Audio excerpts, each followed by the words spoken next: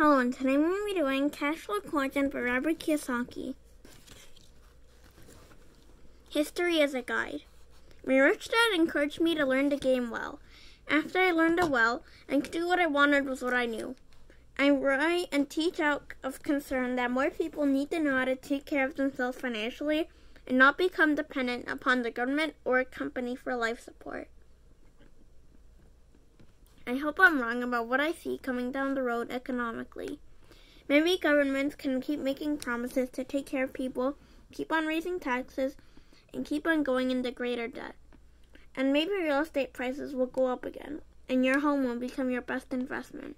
And maybe millions of people will, fi- will find happiness earning a minimum wage and be able to provide a good life for their family. Maybe this can all happen, but I don't think so. Not if history is any guide. Historically, if people live to the age of 75, they lived through two recessions and one depression.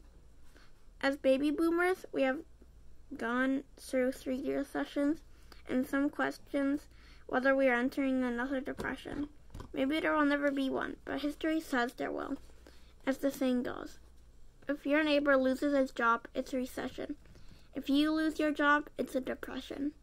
The reason my rich dad had me read books is because great capitalists and economic and economists was so I could gain a longer view and better perspective on where we have come from and where we are going. Just like just as there are waves in the ocean, there are great waves in the markets. Instead of wind and sun driving the waves of the ocean, the waves of the financial markets are driven by two human emotions greed and fear. I don't think that depressions are things of the past because we will always have those emotions of greed and fear. And when greed and fear collide and a person loses badly, the next human emotion is depression. Depression makes is made up of anger and sadness. Anger with oneself and sadness over a loss. Economic depressions are emotional depressions. People lose and they get depressed. Even when the economy appears to be in great shape, there are millions of people who are in various stages of depression. They may have a job, but deep down they know they are not getting ahead financially. They are angry at themselves and sad over their loss of time.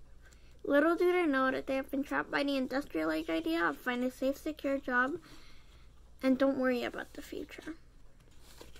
Okay, I hope you liked that. If you did, please like and subscribe. Bye!